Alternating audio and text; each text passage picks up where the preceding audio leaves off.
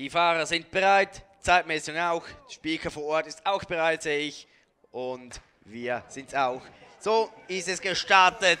Mit höchstem Tempo rasen die Fahrer auf diesen ersten Meterberghof. Ich habe Reto Indegand gesehen, der gleich richtig aufs Tempo drückt mit seiner Startnummer 8. Rechts außen ist er nach vorn gezogen. Reto Indegand, der Urner, der auch seit Jahren dabei ist.